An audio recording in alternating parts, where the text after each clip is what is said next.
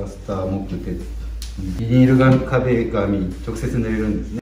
内装専用なんですね。業務用でプロ用ですよね。水性で艶消しのマットな仕上がりになる。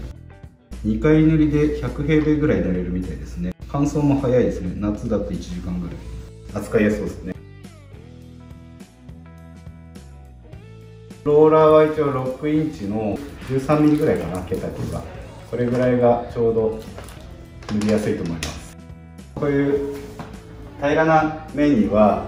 あんまり毛が長すぎるとボテッとした仕上がりになっちゃったりとか短すぎるとあのなかなか塗り進められなくて塗りムラが起こっちゃったりとかそういうのもあるんで大体僕はこう13ミリぐらいちょうどいいます。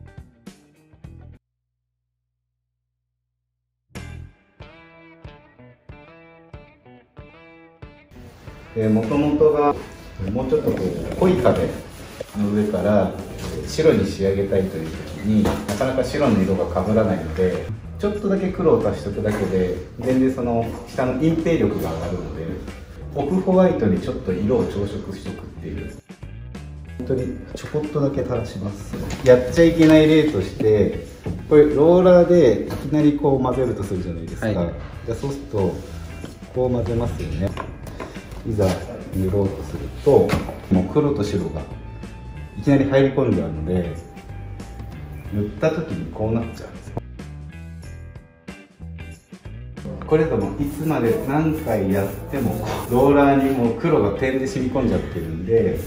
ハケでよく端っこまでこするように混ぜて。